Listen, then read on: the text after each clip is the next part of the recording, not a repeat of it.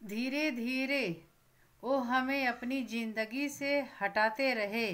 धीरे धीरे वो हमें अपनी ज़िंदगी से हटाते रहे, बताकर मजबूरियाँ हमें और वो अपना दिल कहीं और लगाते रहे।